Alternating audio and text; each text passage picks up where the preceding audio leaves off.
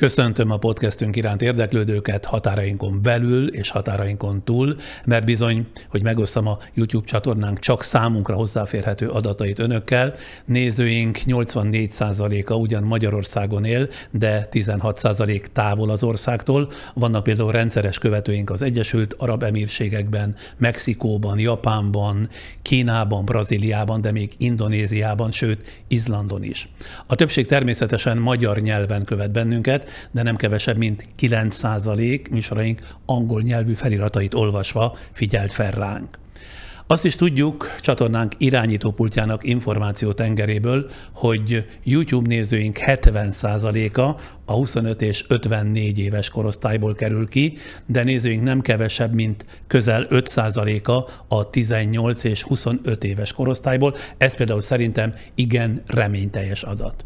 És még egy érdekesség, Általában a nézőink 49,1%-a férfi, 50,9%-a pedig nő, tehát nagyjából fele-fele az arány. Mitagadás, én nagyon kedvelem ezeket a csak a csatorna fenntartóinak rendelkezésére álló táblázatokat, grafikonokat bújni. Gondoltam nem baj, ha önökkel is megosztom az itt található tájékoztató adatokat. Ezúttal is azt kérem, hogy a YouTube-on iratkozzanak fel csatornánkra a képernyőnk alatt jobbra található piros feliratkozás gombra egyet kattintva, de ha nem a YouTube-on, hanem például a Facebookon tartanak velünk, ott egy kék gomb segít a csatlakozásban. Nem nagy kérés ez, viszont ezzel gyarapíthatják táborunkat, és nekünk ez igen sokat jelent. Na és akkor rátérünk mai témánkra. Ön egyébként abszolút nem tart a közelgő, vagy már az itt lévő válságtól, vagy válságoktól? Hát ugye tartani az azt jelenteni, hogy fantáziálok a jövőről. Na most ez az, amit én próbálok mindenkinek tanítani, hogy a jövő nem létezik. Amit mi jövőnek nevezünk, az valójában egy kivetített félelem. Tehát én azt szoktam mondani, hogy a jövő az egy vetítővászon, és arra vetíti mindenki, hát általában a horrorfilmjeit. Nekünk mindig az aktuális perceket kell megoldani, szoktam is mondani, hogy az élet percekből áll. Tehát nekünk azokat a perceket kell megoldani, és aki minden percet jól old meg, annak lesz sikeresebb az élete. Tehát a, a holnapot úgy kell várnunk, hogy hát majd meglátjuk, hogy mi történik, aztán akkor majd valahogy azt is megoldjuk. Podcastünk néhány korábbi adásában a gazdaság és a politika általunk leghitelesebbnek vélt szakemberét kérdeztük a minket körülvevő és egyre fenyegetőbbnek tűnő válság várható mélységéről és lehetséges következményeiről. Az egyre inkább bontakozó gazdasági válságot elemző Sorányi György közgazdász professzorral két hónapja készült beszélgetésünk iránt idáig 1 millió 850 ezer néző érdeklődött a YouTube-on, további 140 ezer hallgató a Spotify-on, a Google Plus-on, és még az összes többi podcast felületen.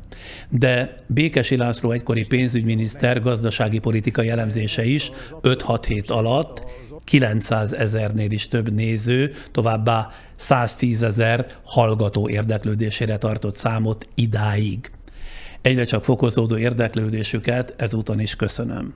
Szó se róla az a kép, amit a két szakember a magyar politikai és gazdasági helyzetről és a kilátásokról felfestett, na meg két hete Holoda Attila energetikai szakértő, finoman szólva sem megnyugtató. Nyilván jogos volt az önök felvetése, amelyet szép számmal kaptunk kommentekben és szerkesztőségünknek címzett e-mailekben, nevezetesen, hogyha ilyen alapossággal elemezzük a szűkebb és tágabb környezetünk reál folyamatait, Tudunk-e többet nyújtani a világhálót beborító sokféle világvége és kozmikus katasztrófa jóslatok hátborzongatásainál? A válaszom az, hogy tudunk, legalábbis most megpróbáljuk. Ez alkalommal egy olyan szakembert hívtak meg körünkbe, aki részben személyes sorstörténete, de szakképzettsége okán is minden bizonyal hasznosítható gondolkodási és cselekvési mintákat tudhat ajánlani önöknek a globális válság idejére. Például azzal kapcsolatban, hogy vajon miben és miként lenne érdemes és lehetséges változtatni gondolkodásunkon, életstratégiáinkon, hogy lehetőleg a legkevesebb sérüléssel, illetve veszteséggel kerüljünk ki a ránk váró nehéz időszakból. Beszélgető partnerem Szendi Gábor, klinikai szakpszichológus, aki saját sorsának többszöri áttervezésében és újrakezdésében jelentős mennyiségű, személyes és talán mások számára is megfontolásra érdemes tapasztalatot gyűjtött, ahogyan éljünk túl egy-egy válságot problémakörben.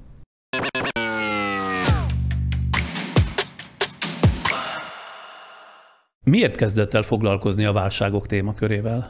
Minden érdekel, ami, ami az embereknek probléma. Tehát itt végül is a válságnak a, a szokásos, szerintem rossz felfogása az, ami, ami korrigálásra szorul.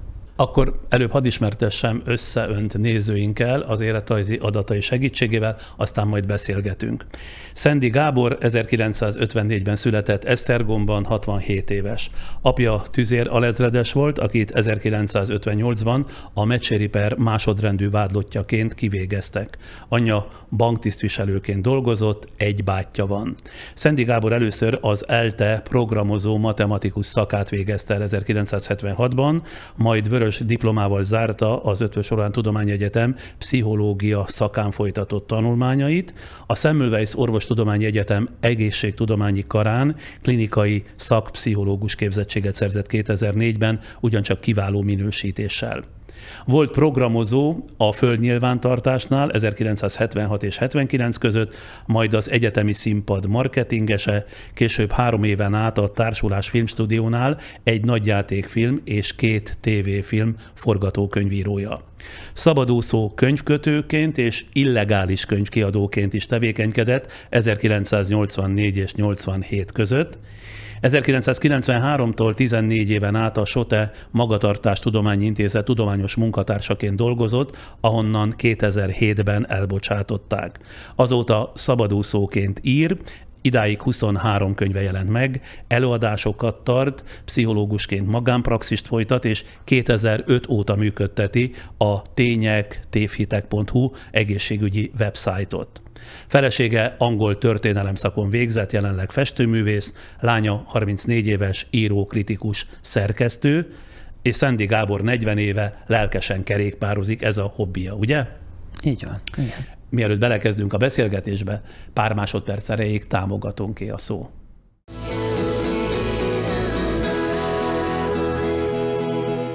És akkor elkezdjük Szendi Gáborral. Ön egy korábban írt, de a mai helyzetre is értelmezhető írásában arról elmélkedik, hogy a világ, ezen belül az emberiség története, a szüntelen válságok, majd ezek meghaladásának végtelen sorozata.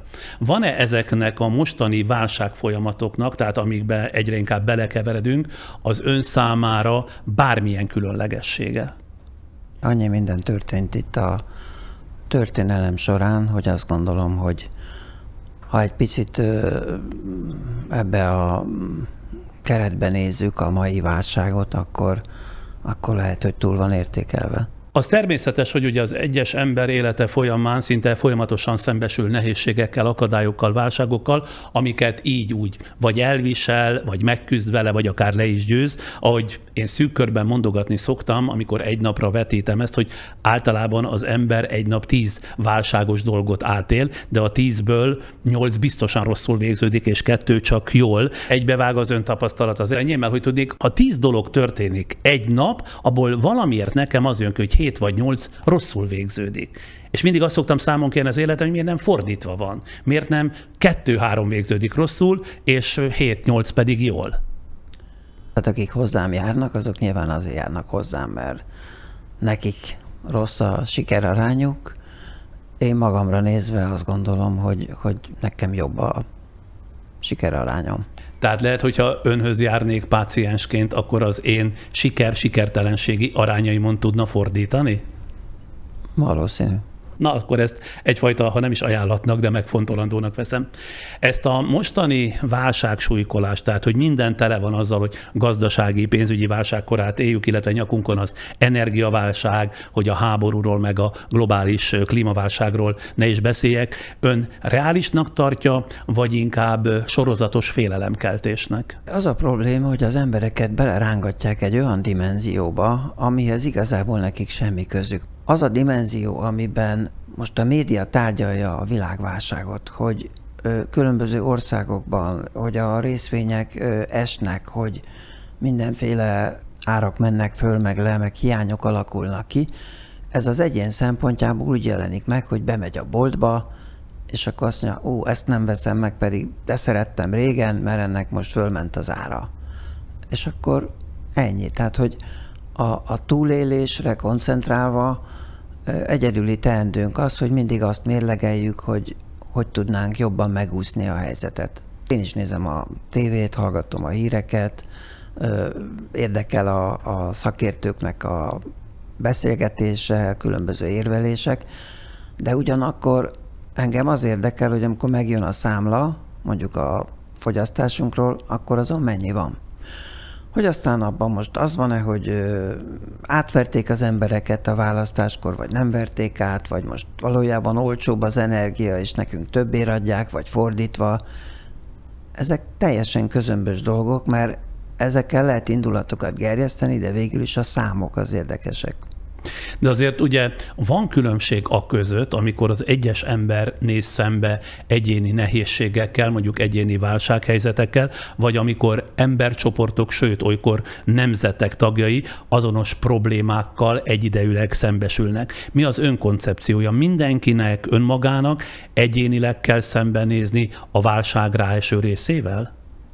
Léteznek ilyen kulturális elvárások, hogy hogy tekintsünk a nemzetre, meg a szűkebb közösségre, és vannak a, az evolúciósan örökletes ö, erkölcsi érzékek, vagy az erkölcsi érzék, és akkor ebbe van, van az igazságosság, meg a másokon való segítés, tehát ezt senkinek nem kell tanítani.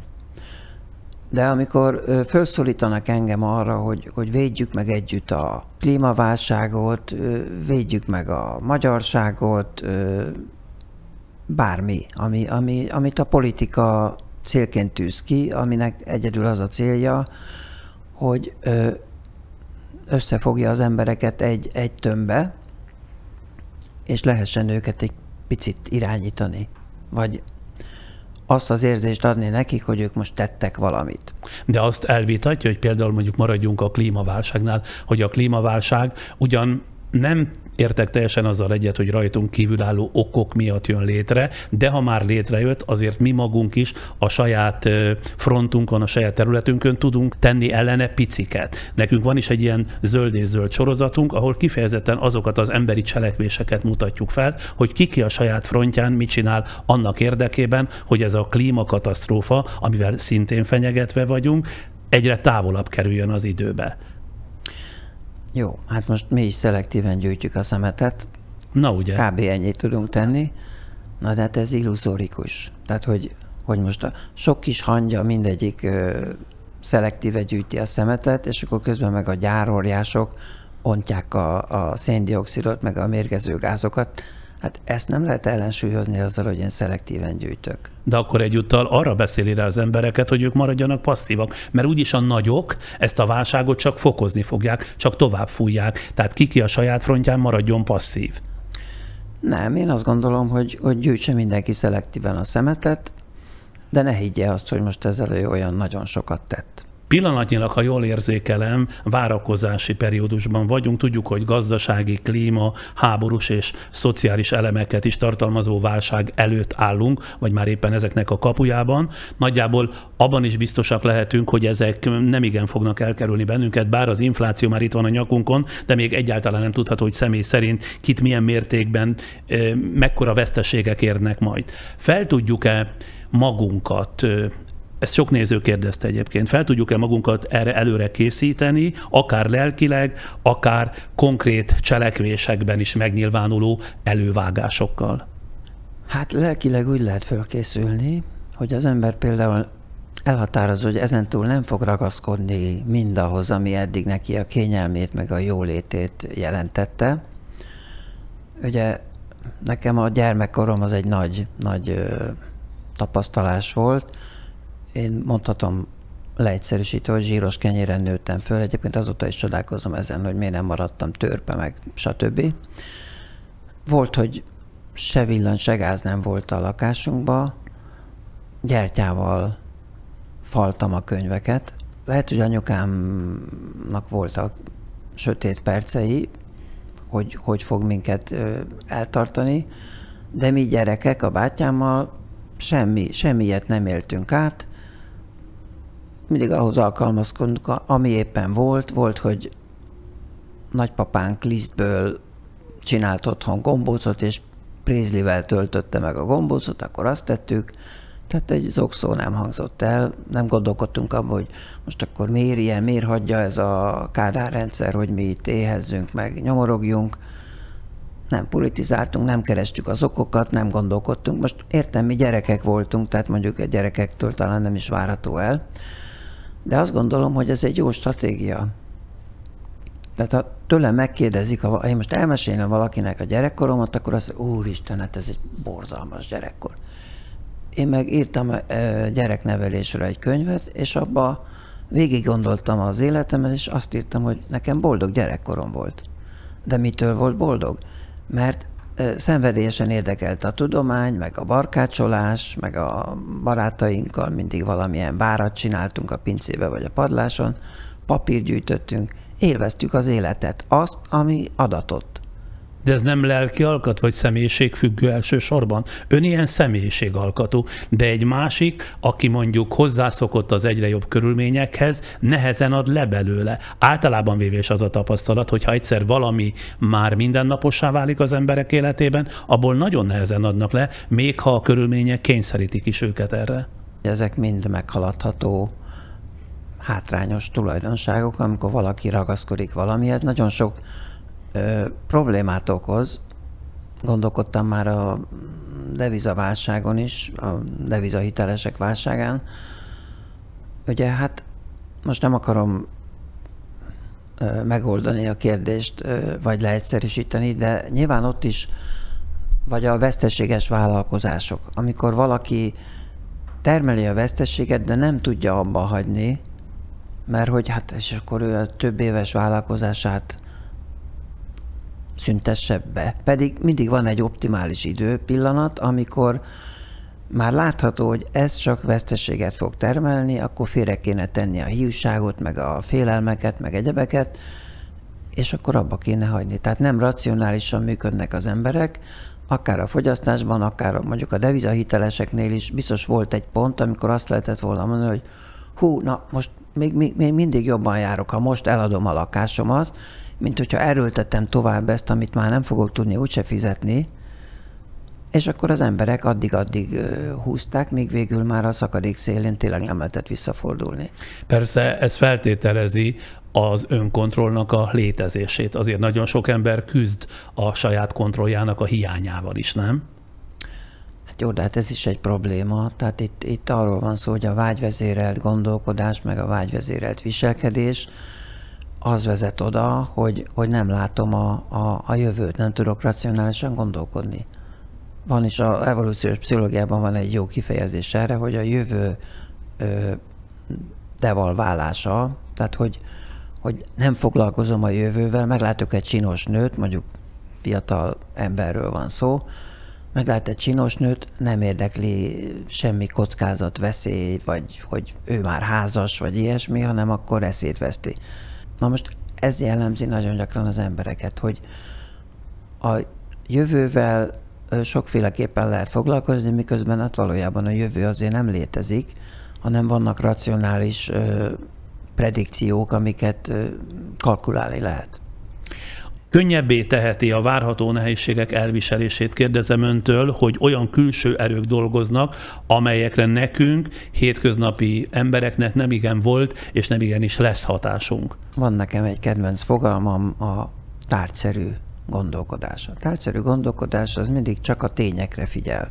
Hogy most ez ennyi, most az annyi, most nem lehet már annyit fűteni, most már nem lehet annyit világítani, ha ezeket a tényeket tudomásul veszük, tehát mindig vissza kell menni a, az evolúcióban abba az időszakba, amikor az ember létrejött, kialakult. És akkor az emberek ö, tényszerűen gondolkodtak. Például a, elmentek újságírók a hadzákhoz, ezek Tanzániában élnek ott a Tanganyika tó környékén, ők, ők még viszonylag ö, őskori szinten élnek, és az újságíró meglepődve tapasztalta, hogy ezek egyszerűen csak úgy beleéltek a, a világba, múlttal se foglalkoztak, tehát nincsenek halott kultusz, meg hasonlók, és kérdezte a, a törzs öreg bölcsét, hogy hát és a jövő, hát hogy majd jönnek a fehér emberek, meg ez lesz, meg az lesz. Őt nem érdekli a jövő, ő teljesen nyugodt, legyen meg a napi betevő, és akkor ők el vannak. Ez a jelenben élés, amit nagyon sok irányzat most már hirdet, hogyha jelenben élünk, és csak a tényekkel foglalkozunk, és nem foglalkozunk azzal, hogy úristen, mi lesz, hogyha ez lesz, meg az lesz, meg amaz lesz, akkor ö, meg tudjuk őrizni a nyugodtságunkat.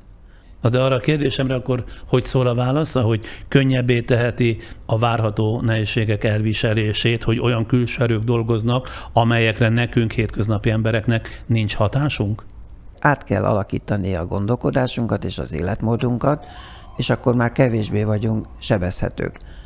Elismerem, nincs tökéletes válasz, mert aki már kenyeret se tud venni, az ugye egy probléma, csak megint kontextusból kiragadjuk a dolgot.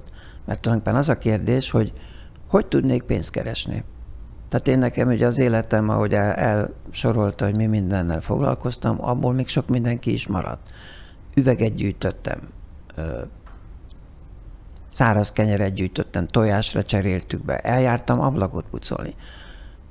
Nagyon sok páciensemnek, akik így megrodjantak a anyagilag, vagy, vagy veszélybe került a munkájuk, mondtam lelkesen, hogy hát én annak idején ablakot pucoltam, csak legyárt fénymásol néhány kis cetlit, elmegy a gazda környékekre, bedobálja, hogy ablakpucolást, takarítást vállalok, hát két kézzel fognak kapni utána, szabályos 8 órás munkája lesz, és nagyon jó lesz megfizetve. Hát senki nem, nem csinálja, mert hogy derogál. Tehát, hogy mi, hogy én takarító. Én bennem meg sose volt ilyen. Tehát például üveget úgy gyűjtöttünk, ez egy barátnőmmel élt pár éves korszak volt, ott egy hosszú pálcám, annak a végén volt egy ilyen hurok, így meg lehetett húzni a hurkot, mint egy ilyen kígyófogóbot, és akkoriban ilyen nagy sárga kukákba az emberek bedobálták az üvegeket, amit nem vettek be. Viszont amit itt nem vettek be, az bevették máshol, és akkor bekukucskáltunk a tartályba, benyúltam a bottal, kihúztam, betettük a hátizsákba, bicikliztünk tovább, és beváltottuk máshol. Most ebből nem lehet megélni, csak akkor, hogy az ember nagyon alacsony szintre teszi a, az igényeit. Mondom újra azért, ez azért személyiségfüggő nagyon. Persze azt mondaná erre, vagy azt mondta talán az imént is, hogy ö, a személyiségünket próbáljuk meghaladni, tehát lépjünk túl rajta. Csak nem tudom, hogy ez azért, mint általános recept, közzétehető és bárki számára alkalmazható-e. Jó, most mondok valami olyat, ami aztán végképp nem fog tetszeni az embereknek. Evolúció. Most az evolúció miről szól? A szelekcióról, a természetes szelekcióról. A rátermettebbek maradnak életben, ők fognak sikeresebben szaporodni. Hát lényegében ö, azt szoktam mondani, hogy az evolúcióról mindenki azt gondolja, hogy ja igen, a, tanultuk a gimnáziumban, igen. Az régen volt. Nem, az evolúció most is tart.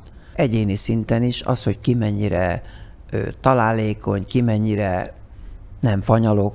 Ugye nagyon sokan megcsinálják azt, hogy például ott hagyják a tanári pályát, és elmennek Tesco-ba a pénztárosnak. Hát erre lehet, hogy a másik meg az, hogy úristen, hát ezért végezted el az egyetemet. Ő meg azt mondja, hogy nem ezért végeztem el, de most változott a helyzet. El szeretném tartani a családomat, meg szeretnék élni, akkor én most átmenetileg Tesco pénztáros leszek. És semmi rossz nincs abban. Tehát lényegében aki talpra esettebb, aki bevállalósabb. És hát lényegében erre kell ráeszmélnie minél több embernek, hogy rengeteg lehetőség van, csak mindegyiknél soromport lát, hogy ja nem, azt nem, hát odáig nem süllyedünk, igényeket nem adjuk föl, saját maguknak csapdákat teremtenek. Ugye olvastam, van egy író, aki valamelyik skandináv országban idősek otthonában dolgozik. Kunárpád. Igen, és aztán hajnalban megírja a könyvét. Neki nem derogál ilyen alantas munkát végezni, mert kikalkulálta, hogy így jön ki, így tud írni. Mégpedig nem is akármilyen író. Fordítva egyet a beszélgetés menetén, de még mindig a válsághoz közelítve, az nem megoldás-e, mert sok embernek ez sajátja, azért vetem föl én is ezt az aspektust, hogy keressük a hibásokat. Tehát a másik hibáztatása, mások hibáztatása nem lehet -e jó, ha másra nem, mint a szorongás levezetésére. Hát arra jó. Mert ez egy tipikus dolog szokott lenni általában, azért hozom szóba. Igen, hát most akkor én lefordítom ezt úgy, hogy állok a sineken, jön a mozdony, és akkor én elkezdem hibáztatni a mozdony vezetőt, hogy, hogy miért nem áll meg. Jól kihibáztatom, és utána a volat átmegy rajtam. Tehát, hogy lényegében ez nem jó stratégia, tehát ezek az érzelmi szinten való elhárítások, ezek nem működnek a valóságban. Megint a tényszerű gondolkodáshoz kell visszatérni. Tehát, hogy nézzünk szembe a tényekkel, lehet, hogy vannak felelősei, akár kézzelfogható felelősök. Ugye, ha összeomlik egy ház, akkor attól, hogy megtaláljuk a felelőst, és rámutatunk, hogy ő miatta omlott össze, attól a ház ugyanúgy romokba hever tovább. Na de például a gazdasági válság, ami itt tombol körülöttünk, azért annak is vannak felelősei, és a hárítás az teljesen természetes. Ráadásul, ha ahhoz kapcsolódok vissza, amit a beszélgetés egy adott szakaszában mondott, hogy egy csomó dolog nem rajtunk múlik, tehát akkor mégiscsak van valami ennek a hibáztatásnak valamiféle ilyen szorongáslevezető, ha más nem, szorongáslevezető hatása, nem? Hát az lehet, hogy van, csak, csak semmire nem jó elviselhetőbb lesz a válság attól, ha azzal nyugtatjuk magunkat, hogy azok, akik az egészet előidézték, a maguk szintjén persze, de ugyancsak megszenvedik ezt a válságot. Hát Én inkább de, erre gondoltam. De nem szenvedik meg ráadásul. Azok a hatalmasok, akik ezt az egészet részben okozzák, azok, azok általában nem járnak rosszul, sőt, meggazdagodnak a válságból. Ez Kicsit vallásos gyökerű, ugye a középkorban, amikor még mindenki hívő volt, akkor a démonok, meg az ördög, meg mindenféle dolgokat mindenért lehetett hibáztatni, és ez a, ez a bűnbak keresés, ez egy, ez egy ősi, ősi gondolkodási mechanizmus. Csak semmire nem jó akkor megint csak egyet váltva nem lehetséges, hogy ez az egész válságkomplexum csak egy felfújt lufi, amit valakik belénk dumálnak, és éppen az ezzel kapcsolatos ijedelmeinket akarják majd arra használni, hogy megszeppent kezes bárányként az ő szándékaik szerint cselekedjünk. Nyilvánvaló, hogy, hogy mind a gazdaság, mind a politika szereplői, azok mindig megpróbálnak hasznot húzni az aktuális tényekből. Ha éppen jól megy, akkor abból, ha rosszul megy, akkor meg abból. De nekünk ezzel nincs dolgunk. Tehát pont az a, az a baj, hogy különböző táborok ebbe akarnak hinni, meg abba akarnak hinni, meg. És pont ez a probléma, hogy az embereket bevonják olyan dolgoknak a tárgyalásába, ami egyrészt egy, egy alternatív valóság, már nem tudjuk az igazat, tehát amikor ugye most utólag kiderült, hogy amikor 2014 körül olcsóban rezsicsökkentetten kaptuk a gázt, akkor tulajdonképpen több, több, többet fizettünk érte, mint a világpiaci ár. Tehát olcsóbban szerezte be a magyar állam elébe épített szervezet, mint amennyiért rezsicsökkentve nekünk továbbadták. Igen, de az a lényeg, hogy mi jön ki a számlán. Tehát hiába mondjuk az, hoppá, lebuktatók, hát akkor most bemegyek és panaszt teszek valahol. Hát ilyen nincsen, ez nem fog működni. Tehát akkor, ha nekem ennyi jött ki, akkor ennyit kell fizetnem, és fölösleges azon spekulálnom, hogy most akkor kik hogyan trükköztek. Ön egyébként abszolút nem tart a közelgő, vagy már az itt lévő válságtól, vagy válságoktól? Hát ugye tartani, az azt jelenteni, hogy fantáziálok a jövőről. Na most ez az, amit én próbálok mindenkinek tanítani, hogy a jövő nem létezik. Amit mi jövőnek nevezünk, az valójában egy kivetített félelem. Tehát én azt szoktam mondani, hogy a jövő az egy vetítővászon, és arra vetíti mindenki, hát általában a horrorfilmjeit. Nekünk mindig az aktuális perceket kell megoldani, szoktam is mondani, hogy az élet percekből áll. Tehát nekünk azokat a perceket kell megoldani, és aki minden percet jól old meg, annak lesz sikeresebb az élete. Tehát a, a holnapot úgy kell várnunk, hogy hát majd meglátjuk, hogy mi történik, aztán akkor majd valahogy azt is megoldjuk. Én például az a típus vagyok, aki annyira előre tervezős vagyok, hogy például én minden este a következő napon programját lebontom, tehát percre pontosan meghatározom, hogy mikor mit csinálok, sőt tovább megyek, ez már valószínűleg egyfajta orvosi eset, hogy azt is megszabom magamnak, hogy melyik telefon körülbelül hány percet ér. Tehát beszélgetek mondjuk önnel, önnel hivatalos dolgom van, ide hívom meg, az egy maximum 5 percben letudandó feladat. Valakivel, akivel mondjuk hosszabb régebbi kapcsolatom van, az egy inkább érzelmi telefon, az lehet 10-15 perces. Én még ezt is meghatározom, ezek szerint járhatnék az ön, nem tudom, pszichoanalízisébe ezzel a problémával, mert ezzel csak saját magamnak a bajt okozom. Ebben én semmi rosszat nem látok. Lehet, hogy túl, túl precíz már, de meg biztos azért magát is elragadja a év, és hogyha elfelejti nézni az óráját, és akkor lesz abból 20 perc is. De az a lényeg, hogy a tervezés az, az nem a jövőről való fantáziálás. Tehát azt, én is azt mondom, hogy, hogy vannak kiszámítható, tervezhető dolgok a jövőre nézve. A probléma azzal van az érzelmi részével, amikor a tervezhető dolgokon túl azon kezdünk fantáziálni, hogy de most mi lesz velünk? Hát öregszünk, már, már 50 évesek vagyunk, vagy akárhány évesek vagyunk. Ugye a hozzám járó emberek szokták föltenni azt a kérdést, hogy tessék mondani, és ennyi évesen meg lehet változni? Hát mondom, most teljesen mindegy, hogy maga 30 éves, vagy 40 éves, vagy 50 éves, meg lehet változni, de mindig az emberek pont abban az életkorban gondolják azt, hogy ebben már biztos nem lehet, ahány évesek. Tehát, Egyébként hogy... tényleg bármilyen korban meg lehet változni. Ahogy szoktam kérdezni, nem kövesednek úgy meg a sejtek, hogy már megváltoztathatatlanok vagyunk egy bizonyos kor után? Hát egyrészt ö, állandóan változunk, tehát pont az a baj, hogy... De alaptulajdonságainkat tekintve, én erre gondoltam még ugye a temperamentumot is úgy szokták tekinteni, hogy ez egy örökletes tényező.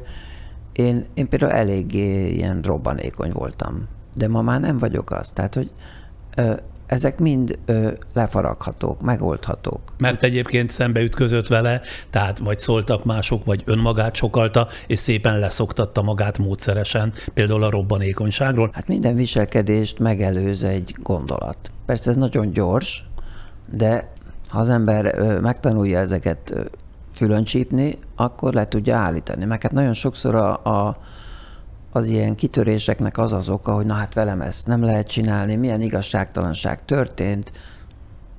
Hogyha ezekről elkezdünk másképp gondolkodni, akkor egyszer csak nincs igazságtalanság, vagy mi az, hogy velem meg lehet tenni? Hát meg lehet. Miért ne lehetne megtenni? Az az én dolgom, hogy erre majd hogy fogok reagálni, de kikérni magamnak, Honnan ez a hidegvér önben? Mert ez egyfajta ilyen jéghideg gondolkodásról árulkodik, hogy, hogy nagyon racionálisan közelít a dolgokhoz. Ez egy szakmai, hogy úgy mondjam, velejáró, vagy pedig ilyen ember? Hát nem voltam mindig ilyen, ezt, ezt elismerem, én is sokat fantáziáltam, meg rémképeket láttam, nem lesz belőlem senki, egy nagy nulla leszek, 20-20 éves koromban, pláne amikor programozó voltam, akkor nagyon sötéten láttam a, a, az életemet, hogy úristen, ilyen kockafejű emberek közt fogom leélni az életemet, de ö, tulajdonképpen tudatosan elkezdtem fejleszteni magamat, és fokozatosan lefaragtam magamról ezeket a fölösleges ö, aggodalmaskodásokat.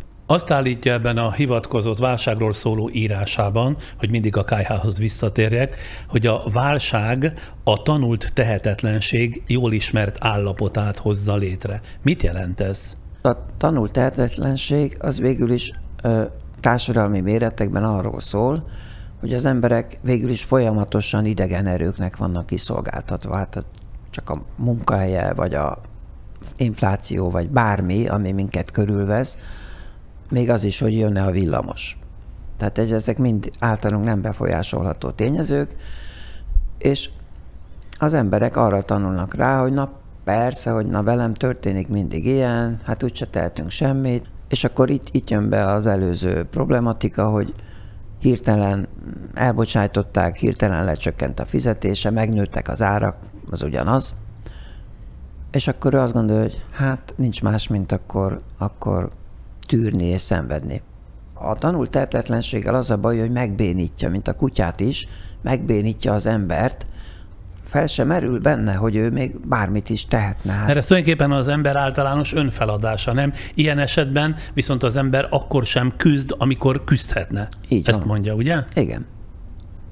Lezárulnak a kapuk, és azt gondolja, hogy hát itt nincs megoldás. És pedig mindig van megoldás.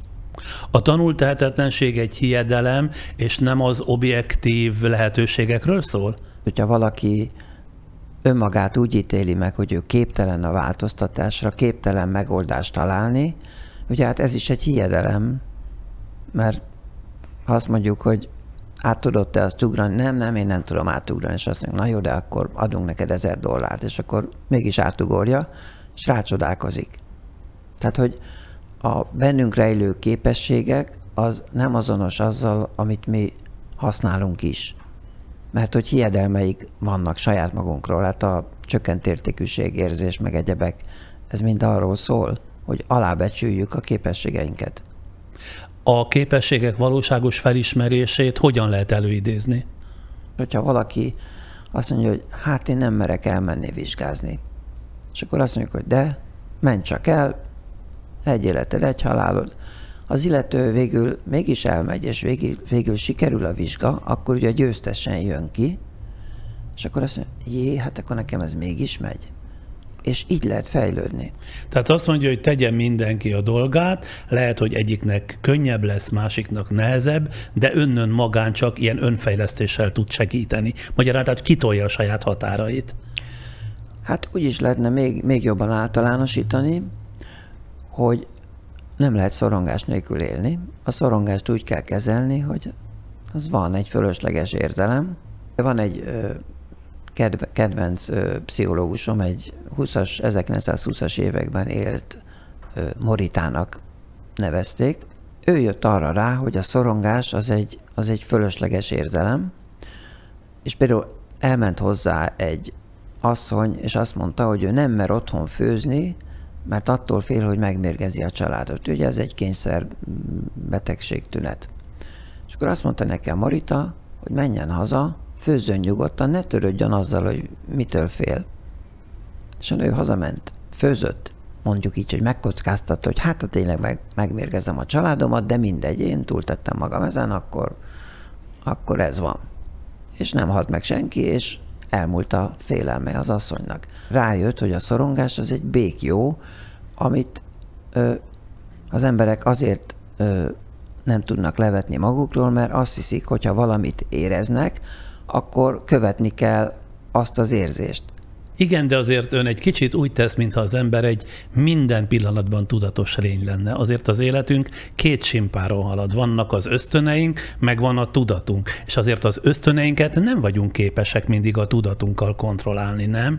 Az a nő, aki azzal a szorongással élt, hogy megmérgezi a családját, arra utalok, mert az egy nagyon pregnáns példa volt, hogy ha egyszer ez a szorongás benne van, azzal legyőzni, hogy menjen haza, amit mondott az ön kollégája, és főzzön nyugodtan, ne törődjön az, hogy megmérgez. Szóval ez egy hihetetlen belső harc. Ez nem olyan könnyű egy embernek saját magán belül elintézni. De ezek fejleszthető tulajdonságok. Tehát ha én, én elkezdem elkezdek siránkozni, hogy úristen, hát itt most már mindennek vége, összeomlott az életünk, nincsen jövőnk, akkor bele süppedek egy ilyen tanult tehetetlenségbe, és nem teszek semmit. Tehát, hogyha nekem csak azok a tények vannak, hogy hát most ez drágább, hát most akkor le kell kapcsolni a villanyt, hát most ne adj Isten, el kell adni a lakást, és egy kisebbbe költözni. Tehát most nincs mindenre megoldás, de az biztos, hogy minden ember az utolsó csepp véréig életben akar maradni és ha felruházunk őt, vagy megengedjük neki, hogy ő a képességeit kibontakoztassa ez ügyben, akkor valószínűleg, hogy majdnem mindenki talál megoldást. A válságot tulajdonképpen az önbeteljesítő jóslatok úgy hozzák létre, azaz a helyzet téves értelmezésével indul a dolog, amelyből aztán olyan viselkedések következnek, gondolom én, amelyek végül beigazolják és valóra váltják az eredetileg is téves koncepciót. Ez jó megfogalmazás? Most mi abban a naív elképzelésben vagyunk, hogy azért nagyjából tudjuk, hogy a gazdaságban mi zajlik, meg a döntéshozók mikről döntenek, nem tudjuk. A hír az mindig fontos volt, mert a tágabb környezetből a jövőre nézve lehetett spekulálni valamit. Viszont ezt a hírérséget, ez is egy evolúciós örökségünk, kihasználja a média. Ugye még csavarok egyet, mert, mert a, a, az embereknek a hírészsége elsősorban a negatív hírekre fogékony.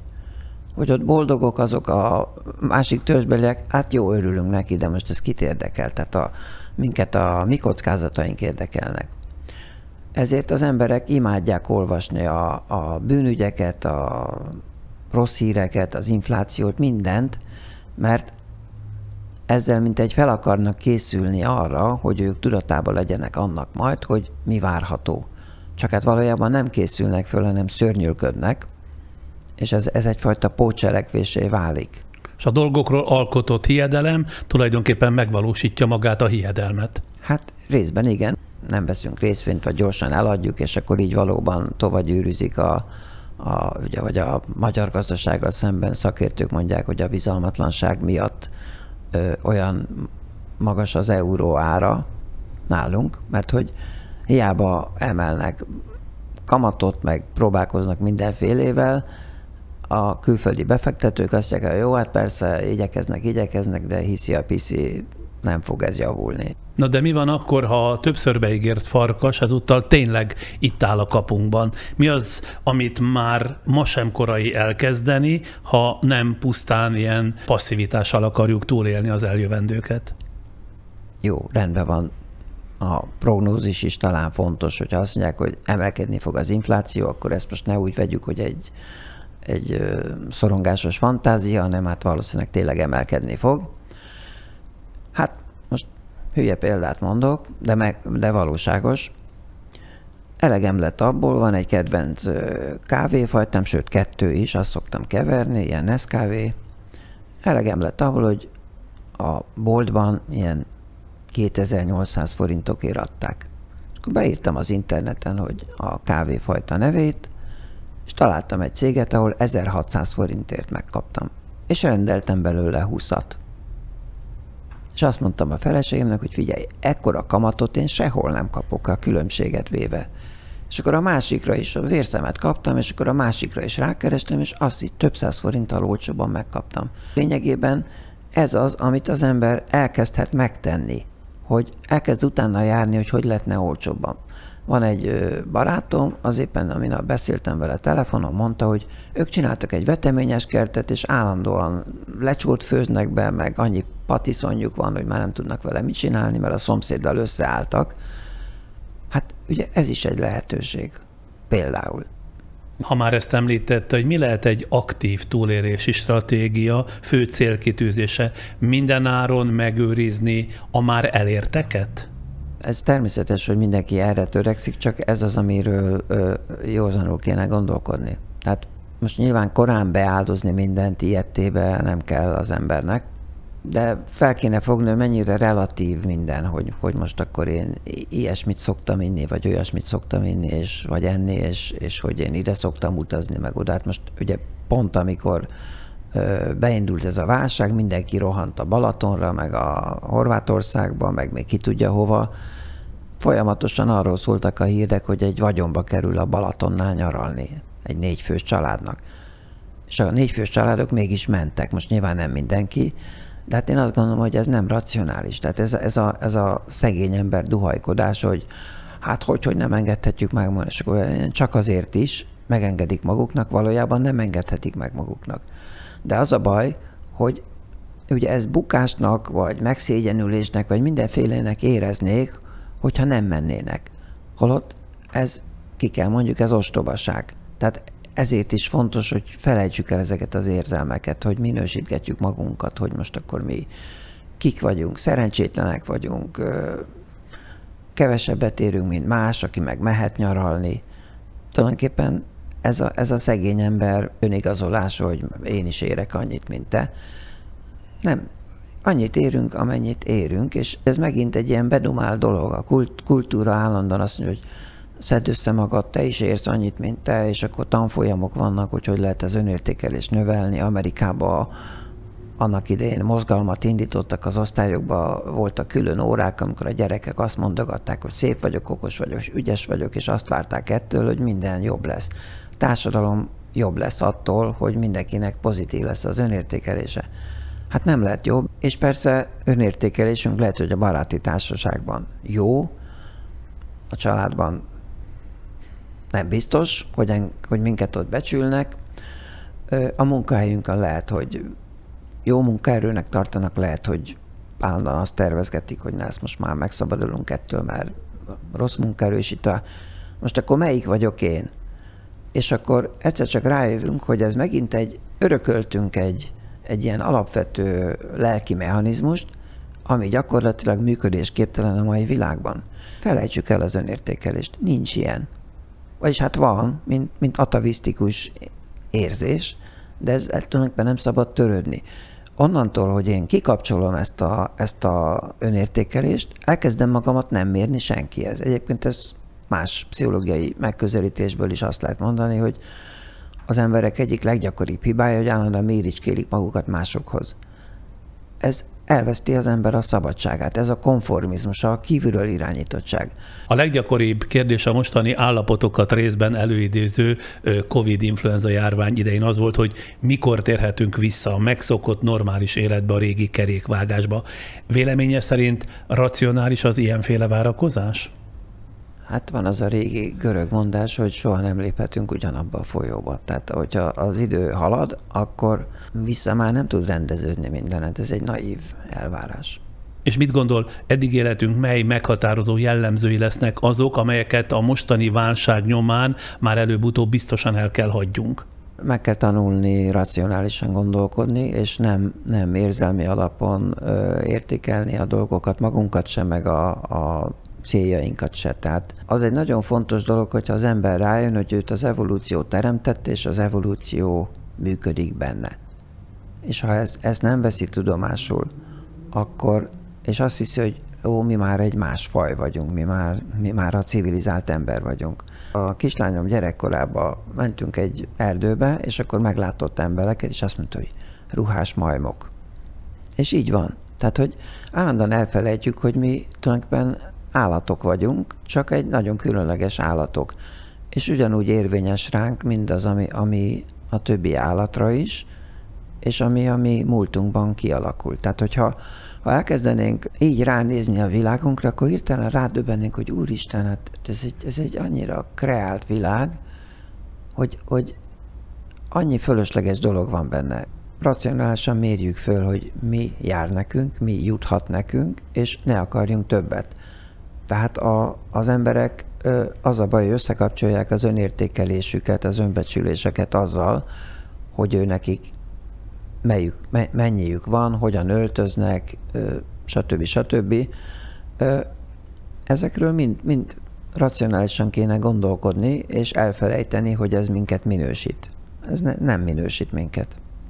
Valahol azt nyilatkozta, vagy írta, hogy a mindennapi nehézségekkel való folyamatos szembenézés lényegében egy evolúciós tényező, ez az evolúció mindig visszatér. Aki sikeresebb probléma megoldó, az sikeresebb túlélő is.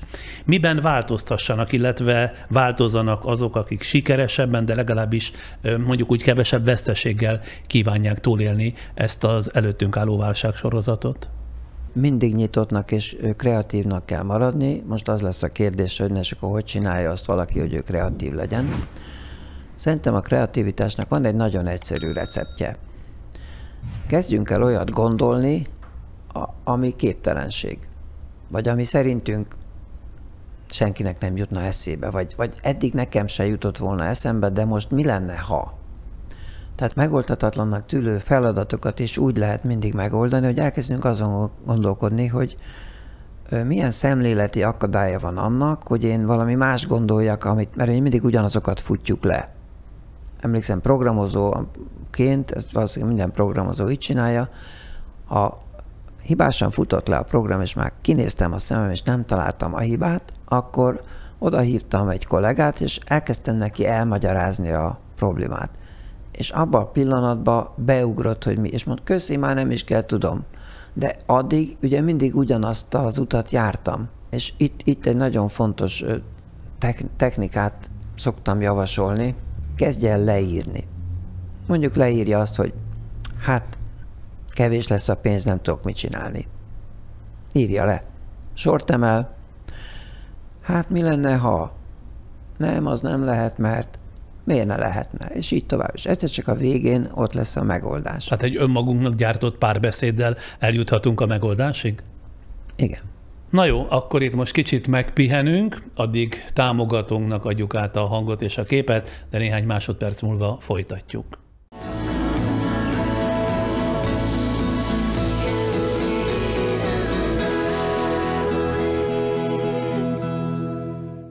Továbbra is Szendi Gábor klinikai pszichológussal beszélgetek arról, hogy hogyan lehet egy válságos élethelyzetre tekinteni. Én úgy látom, hogy folytassuk valami megint mással, hogy sem az iskolában, sem az életben nem kapunk megfelelő képzést ahhoz, hogy az életünket hogyan kellene kezelni. Ráadásul amilyen mintát innen-onnan összekalapálunk, az többé-kevésbé ilyen ismert szabályok szerint működő világ. Ha ezen a válságos perióduson valaki aktívan a lehető legkevesebb sérüléssel és veszteséggel szeretné átmenteni magát, hol kezdje a kezelés technikát? Hát először is meg kéne szabadulni azoktól a konvencióktól, amikkel tele van a fejünk. Tehát ne felejtsük el, hogy a fogyasztói társadalom az konform embereket termel. Aki állandóan azt figyeli, hogy mit vár el tőle a közösség, a társadalom, politika, és ö, mindenkinek a fejében én így nevezem, lehet, hogy nem, nem szakszerű, de én nekem van egy saját terminológiám, hogy mindenkinek a fejében van egy szociális én. Amikor a, a nők elmennek ruhaboltba, billegnek, billegnek a tükör előtt, nagyon tetszik nekik egy ruha, és akkor egyszer csak megszólal bennük a hang, hogy te úgy áll rajta, mint tehénen a gatya, meg hogy fogsz te kinézni, piros ruhába kimenni, és akkor majd nem tudom én, minek fognak nézni a férfiak, és akkor visszaakasztja, és nem veszi meg. Vagy még rosszabb, amikor megveszi, de soha többet nem veszi föl, csak a, otthon a szekrényben tárolja. Ugye ez a szociális én, ez nagyon gyakran destruktív.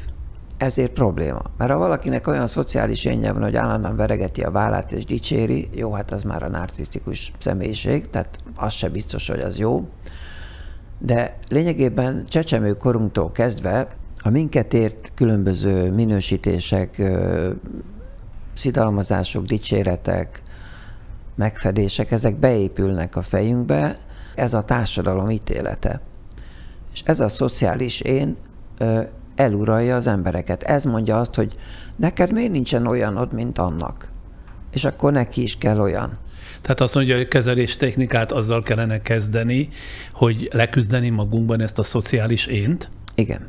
És ráadásul tegyük hozzá, hogy Hát ez nem az emberek igazi véleménye, nem az én feltevésem arról, hogy mit gondolnának rólam, ha ezt vagy azt csinálnám. De nem biztos, hogy attól az még rossz.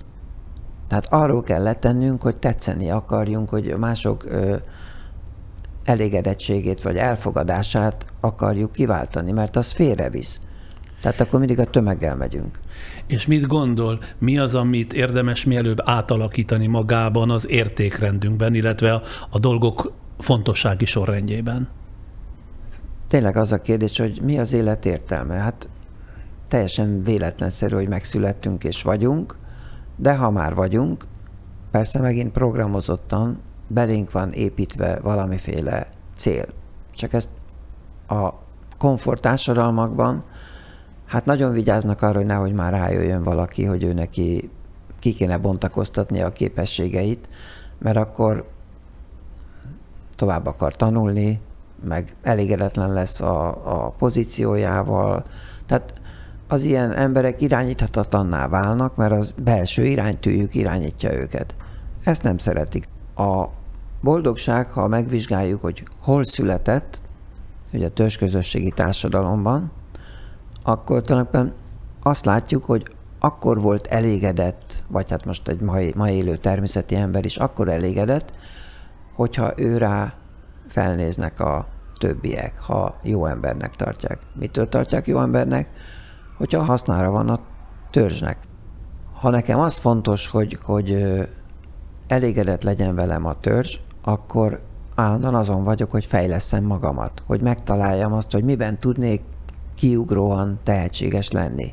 Na most hát ugyanez megfigyelhető a mi társadalmunkban is, csak hogy ez nagyon keveseknek adatik meg, hogy ők kibontakoztassák azokat a képességeket, amik ő bennük rejlenek, és a társadalom hasznára legyenek. Mi hiányzik azoknak, akiknek ez hiányzik? Mi hiányzik belőlük? Hát például a hit, amit már kiölnek kicsi korukban, mert azt mondják, hogy te vagy a 20 az osztályban, hülye vagy, hármas kapsz, ne számíts sokra. És akiben viszont megmarad, tehát aki mindvégig képes a saját útját járni, abba pedig mi keletkezik? Mi az, ami ezt a töbletet adja, hogy ő szuverő módon élje az életét? Háromféle ilyen önbeteljesítő jóslatot szoktak megkülönböztetni. Az egyik a Pygmalion effektus. Az ős kísérlet az volt, hogy bementek a kísérletvezetők egy osztályba, és valamilyen tesztet fölvetettek a gyerekekkel, és aztán meg sem nézték a teszteket, hanem azt mondták, hogy ez, meg ez, meg ez, ez kiugró képességekkel rendelkezik, és visszamentek az év végén, és azok a gyerekek tényleg sokkal többet fejlődtek, és ugye ez azért van, mert a, a tanárban olyan elvárásokat alakítottak ki ezekkel a gyerekekkel kapcsolatban, hogy facilitálták a működésüket, és ettől ezek szárnyakat kaptak. Ugye a gólem effektus az ennek az ellenkezője, amikor ezt nem a kísérletvezetők, hanem az emberi természet idézi elő, hogy tanárnak valakik nem szimpatikusak, vagy a származásuk, vagy akármi miatt, és akkor azokat állandóan úgy kezeli, hogy ezek hülyék, és azok el is hiszik, és tényleg azok, azok maradnak. És van a Galatea effektus, ez arról szól, hogy a gyerekben alakul ki saját magával szemben az az elvárás, hogy ő ügyes, rátermett, meg fog tudni mindent oldani. De minek hatására éppen abban a gyerekben, amelyikben? Hát most ez mondjuk azt, hogy, hogy ez egy rejtély. Mert hogy én ilyet nem kaptam egész gyerekkoromban az iskola, általános iskolában. Én voltam a rossz tanuló, jó, egy-két tárgyból mindig kiemelkedő voltam, de hát azt úgy tekintették, hogy nem értjük, hogy ez a gyerek ebben a kémiában, biológiában miért jó. Tulajdonképpen amikor a gyerek könyvemet írtam, akkor jöttem rá, hogy engem senki soha nem dicsért. Tehát lényegében én nálam például valószínűleg azért alakult ki dacból, hogy én elkezdtem azt gondolni, hogy szerintem engem félreismernek. De hogy hogy hány útja, módja van ennek. Nyilván a legjobb az, hogyha a pigmalion effektus működik a családban, és a szülők úgy tekintenek a, a gyerekükre, hogy, hogy okos és ügyes és nagy reményű, akkor nyilván a gyerek egy idő után elkezdi elhinni ezt, és akkor kialakul a Galatea effektus, hogy ő is elkezdi azt gondolni már támogatás nélkül is ha valakinek nem volt ilyen szerencséje, akkor ezt felnőtt korban is ki lehet alakítani. Hogyha az emberek a kudarcokat, meg a bukásokat, vagy ezeket a szavakat elfelejtenek, és azt mondanák, hogy hát ö, a próba az arra van, hogy kiderüljön, hogy lehet-e így csinálni, ha nem lehet így csinálni, akkor csak az következik, hogy akkor másképp kell csinálni. De nem arról, hogy akkor ezt nem lehet csinálni. A válság első gazdasági jeleit már érezzük, érzékeljük, például a számlákkal megismerkedve már szembesülünk a valóság nagyon is húsba vágó részleteivel. Nyilván a többség már készít, vagy készítget mostanában ilyen előzetes kalkulációt a terhek növekedéséről, és minden bizonyal gondolkodott már azon is, hogy miként rendezi át a megélhetését. De mit lehet, illetve mit kell ezentúl is tenni, legalább annak érdekében, hogy az emberek, a családok gazdaságilag talpon maradjanak? Ha lehengerlően nagy a, a, a csapás, akkor arra, arra csak azt lehet mondani, hogy fusson, amerre lát, mentse a bőrét. Na de mi lesz az életéből, miből fog élni? Erre, hogy ekkor jön elő, amit mondott, hogy erre mondtam, újra kell tervezni a saját életét? Méghozzá radikálisan. Az ember, mint evolúciós lény, élni akar, és leginkább az becsülhető, ha valaki küzd. De minden változás döntések sorozatát is jelenti. Sokakat mondjuk azt tesz, vagy tehet cselekvőképtelenné, hogy tartanak attól, hogy egy rossz döntéssel esetleg jóvá tehetetlen változásokat indítanak el, és így az eddiginél is kedvezőtlenebb helyzetben navigálják magukat. De még a legegyszerűbb döntések előtt is, nem tudom persze ezzel, hogy egyetérte, mérlegelnünk kell, megtájékozódnunk. Csak hogy manapság olyan mennyiségben keringenek mindenféle ostoba, félrevezető, meg manipulatív információk, hogy gyakran ezek önmagukban is elbátortalanítják azt, aki döntési helyzet előtt áll. Hogyan és hol tanulható meg jól és értelmesen mérlegelni ebben a nagyon-nagyon vegyes információzuhatakban? Az információ korában az evolúció, evolúciós szelekció az azt jelenti, hogy az lesz a nyerő, aki meg tudja a dezinformációtól különböztetni a jó információt. Most ugye erre még nem válaszoltam, hogy és akkor hogy lehet azt. Hát mindenki választ egy tekintét, aki számára hiteles. Most mitől hiteles valaki? Attól hiteles például, hogy érdek nélkül mondja. Most persze mi az, hogy érdek nélkül? Tehát nézd például bennünket, itt érdek nélkül beszélgetünk, és ebből már hitelt lehet nyerni, magyarán szólva, tehát ad arra, amit mi itt beszélgetünk. Hát mondjuk azt, hogy inkább ad arra, mint, mint a, a fizetett igazmondókra. Ki kell alakítani egy, egy ilyen érzéket, hogy a dolgokat tudjuk mérlegelni. Abszolút biztos nem lesz. Vannak olyan józan ö, megközelítések, amik segíthetik az embert abban, hogy elkezdjen kételkedni. A kételkedés a legfontosabb, hogy mindig kételkedjünk. Én mindig azt szoktam, hogy bennem ne higgyenek. Tehát, hogy nem szeretem, a hisznek nekem, mert akkor az azt jelenti, hogy bármit mondok, akkor azt elhiszik. Ö, hallgassák meg, fontolják meg, és ha meggyőzőnek érzik, akkor akkor átmenetileg tekintség úgy, hogy lehet, hogy ez így van. Szóval a hitelesség, ez egy fontos kulcsszó. Na most a nagy válságok a privát ember számára mindig privát válság képében jelennek meg. Ebből az következik, és valahol beszélgettünk már erről, vagy legalábbis érintettük, hogy mindenkinek magának egymástól elszigetelten kell -e megoldania a maga kis válság részét, vagy lehet közösen szerveződve egymást támogatva is próbálkozni a kilábalással. Mert különböző szerveződések formájában, mondjuk szélesebb értelemben vett családi közösség, vagy a hasonló élethelyzetű emberek csoportja, vagy társadalmi egyházi szervezetek mind-mind alkalmasak lehetnek arra, hogy valamiféle feloldást nyerjek a közösség erejében. Az ember az evolúció során kooperációra fejlődött ki. Jó dolognak tartom, hogyha emberek össze tudnak fogni, csak ne úgy, hogy azért fogjanak össze, hogy mindenki a többi, többiektől várja a megoldást. A közösségben nagy, nagy lehetőségek vannak, de én a magam életében én mindig azt találtam, hogyha össze akartam valakikkel fogni, akkor abból mindig az lett, hogy vagy én csináltam, vagy nem, nem jól lett a dolog csinálva, nyilván ez az én túl magasra emeltem a lécet, vagy akármi, de... De ettől függetlenül még hisz a közösségnek Igen. az ilyen értelemben vett erejében is. Hát sőt, tulajdonképpen vágynék a közösségre, csak hát az most már kimaradt az életemből. Egy picit még, ha megengedi a személyes történetének alakulásáról is hadd kérdezzem, ugye, hogy átolvastam, önnek nem csak a tanult szakmája, hanem eddigi életútja is bőségesen adott megfelelő mennyiségű és minőségű személyes tapasztalatot ahhoz, hogy hitelesen beszéljen a válságkezelés lelki és gyakorlati tényezőiről. Életrajzából tudom, mert az elején felolvastam, hogy négy éves volt, amikor az 56-os forradalom hadügyminiszterével Maléter Párral együtt elfogott édesapját kivégezték. Attól kezdve sokat betegeskedő édesanyja nevelte ön testvérével együtt.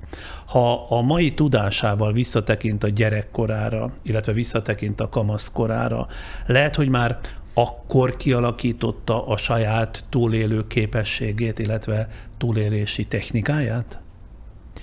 Igen, hát emlékszem, hogy a bátyámmal például ugye tudtuk, hogy mennyi a anyukánk fizetése, 800 forint volt, és akkor számolgattuk úgy, mert kicsit nem értettük, hogy hogy nem jövünk ki ebből, hogy hát 60 forintért egy kiló vajat vehetünk, és akkor így hittere úgy éreztük, hogy hát 800 forint az rengeteg pénz, azt persze nem tudtuk, hogy akkor ezt meg azt ki kell váltani az aciból a már lejáró tételeket, meg egy csomó ilyen dolgot. Egyfajta ilyen, ilyen gazdálkodás, meg egy ilyen túlélési technika kialakult. Tehát elmentünk papírt gyűjteni, és akkor a pénzt leadtuk az anyukánknak. Tehát keresők voltunk, hogy úgy mondjam. Tehát nem jaj veszékeltünk, hanem ez volt az életünk. Én mindig a szabadságot tartottam a legfontosabbnak. Tehát ezt el is szoktam mindenkinek mondani, hogy, hogy ilyen, ilyen ö, reggel 8-tól délután 5-ig bentülős munkám egyedül három évet volt az életemben. Mindig arra törekedtem, már az egyetem színpadon is ö, ott se volt ez ilyen szigorú, tehát mindig a szabadságot tartottam fontosabbnak, és egyre kevesebb fizetésért mentem tovább mindig, mert már a filmgyárban is kevesebb volt a fizetésem, mint az egyetemi színpadon, de közben pedig ugye kibontakoztam, mert én író akartam lenni, és akkor így lettem filmíró, de ennek az volt az ára, hogy akkor a, a hiányzó pénzt, az pedig ilyen mindenféle mellék foglalkozásokból kellett megszerezni, és ekkor alakult ki az a filozófiám, hogy, hogy mindenkinek több lábon kell állni.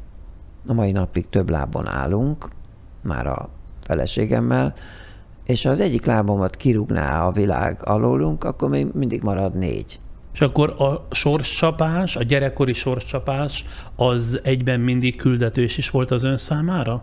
Hát gyerekkorban ez nyilván nem így volt átgondolva, hanem egyszerűen csak, csak megtanultam, hogy megrántsam a vállam. Megtanultam, hogy, hogy ha nincs mit enni, vagy volt, hogy lementem, egy, kértem egy, egy, egy szelet ö, szalámit vettem, mert annyi, annyi pénzem volt. Tehát, hogy ez, ez a fajta ö, kis, kis takarékos egyik napról a másikra való túlélés, ez úgy, úgy egy természetes közege volt az életemnek. Ö, később alakult ki ez a, ez a ne függjek senkitől, ugye ez a szabadság vágy, ez nyilván ennek volt eszmei, ideológiai tartalma is, tehát nem csak, nem csak anyagi értelemben, de ez mindig fontos volt, hogy, hogy alacsonyan tartani a jövedelmet, és cserébe szabadnak lenni. Ami ugye azt jelentette, hogy ö, nem vettem ruhákat, nem utaztam, egy csomó dologról én lemondtam, mert nem engedhettem meg magamnak, de ezt nem veszteségként éltem át, hanem mindig készültem a küldetésemre, hogy én majd író leszek. Ugye az írás is végül is az ember iránti érdeklődés, és aztán ez így bele ö, folyt végül is a pszichológiába, ugye pszichológiai könyveket kezdtem el kiadni, azokat olvasgattam, és akkor elkezdtem, a barátnőm is pszichológus lett egyébként, és akkor végül is a, az ember egyik tanulmányozásának az egyik legjobb terepe maga a pszichológia. És így akkor, jutott el ide? Igen, tehát hogy ez végül is így utólag kikövetkeztethető, hogy ez volt az én irányultságom, csak ezt akkor én nem tudtam, mert mindig ami érdekelni kezdett. De mindent összeadva hányszor kezdte újra az életét? Kétszer, háromszor biztosan. És amikor egy-egy alkalommal ilyen vagy olyan értelemben, de elbukott, akkor az újrakezdéshez mi adott erőt? De amikor engem a filmgyárból kitettek, akkor lényegében azt mondtam, hogy jó, hát akkor kötöm tovább a könyveket, csak intenzívebben. Akkor volt könyvkötő. Igen. És hát aztán később, amikor pszichológia szakra mentem, akkor, akkor meg a feleségem akkor jól keresett, és azt mondta, hogy nem baj, én csak menjek, tanuljak, és majd ő eltart engem. Tehát, hogy ott már nem volt kockázat. Tehát akkor nem bukott el, és ezért nem is kellett újult erővel beleszállni a következő fázisba? Igen. Saját magammal voltam váltó futásba, hogy akkor áttettem a másik kezembe, hogy akkor most ezentúl ezt csinálom jobban. Ahogy olvastam a válságról szóló írásában, egyszer egy újságírónak gyanútlanul bevallotta, hogy olykor titokban hősnek érzi magát. Ezt a kérdést hadd tegyem föl újólag, hogy titokban olykor tényleg hősnek érzi magát? Tényleg. És én ezt, ezt javasolnám mindenkinek. Kell az a, az a önérzet vagy, vagy önbecsülés, most azért én, én is mondom ezt a szót, hogy büszkék legyünk a teljesítményünkre. És ez oda kanyarodik vissza, hogy mindig csak önmagunkkal mérjük magunkat. Tehát ha valaki elindul egy futóversenyen, és ő ott az utolsó lesz, akkor is azt mondhatja, hogy na de végigfutottam, Hát én most lefutottam, mit tudom én, hány kilométert. Most mit érdekel engem, hogy mások ezt kétszer olyan gyorsan futják le? Tehát ha mindig önmagunkhoz mérjük magunkat, akár még azt is mondhatjuk, hogy na még ha sokáig futom ez, ezeket a köröket, egyre jobb lesz az eredményem. Tehát önmagamhoz képest fejlődni fogok. És ez a, ez a hős hmm, titulus, ez mindenkinek jár, aki helytáll. Én a helytállást nagyon fontosnak tartom az életben, és pont a válság kapcsán ez nagyon fontos, ez a belső büszkeség, hogy nem adom föl, nem hagyom magamat, vagy pláne, hogyha családomért küzdök, megküzdök. Tehát ön szerint, aki szembe mer szállni adott esetben a sorsával vagy a bal sorsával, annak a helytállása, a küzdelme nem lesz hiába való? Igen, így van. A, a belülről irányított ember az ön, önmagával tud elégedett lenni. Tehát, hogy ez nagyon fontos, ezt kell elérnünk, hogy mi azt érezzük, hogy teljesítjük a küldetésünket. A küldetésünk az a, az a helytállás, a, az önmagunk megvalósítása. Ez irányítson minden döntésünket. Persze ne öngyilkos módon, tehát most itt nem kell ezt abszolutizálni, de minden döntésünkben egy picit legyen benne az, hogy ez most minket épít, előre visz, akár egy picit húzzuk meg a derékszíjunkat, vagy mondjunk le valamiről a nemes cél érdekében. Ez a boldogság titka.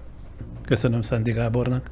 Én is köszönöm és amennyiben ezúttal is találkozott érdeklődésükkel, mind a témaválasztásunk, mind annak feldolgozási módja, tisztelettel kérem támogassák kitartó műsorkészítésünket. Ezt megtehetik a Patreonon keresztül, a patreon.com oldalon, látják ezt feliratban is alattam, ahol rendszeres támogatást lehet vállalni, illetve ha egyszerűbb úgy, itt a YouTube-on a csatornánk bármelyik beszélgetésének képernyője alatt jobbra a negyedik gomb, a köszönet gombja, hozzáteszem ez a gomb, premiereken nem jelenik meg, csak a műsor bemutatás követően, ne kérdezzék, hogy miért. Erre kattintva tehát, a köszönet gombra kattintva tehát kifejezhetik elégedettségüket.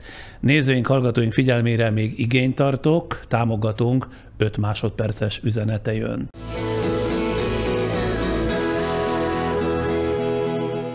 A jövő hét az ismétlések hete lesz a mi csatornánkon, tehát korábbi tévéműsoraim közül, amelyeket valamilyen szempontból fontos és vagy érdekes interjúnak, riportnak, netán szórakoztató műsorszámnak tartok. A jövő kedden, szerdán és csütörtökön is közzé néhányat, megjegyzem már száznál is több részlet, fenn van a YouTube-on, a Friderikus Podcast oldalának negyedik visszinte sorában. Friss beszélgetésnek a premierje pedig mához két hétre lesz, addig is a legjobbakat kívánom.